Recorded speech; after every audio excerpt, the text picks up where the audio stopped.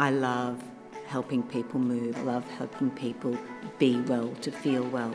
That immediately feeds back into my passion. It tells me this is why I'm doing what I do.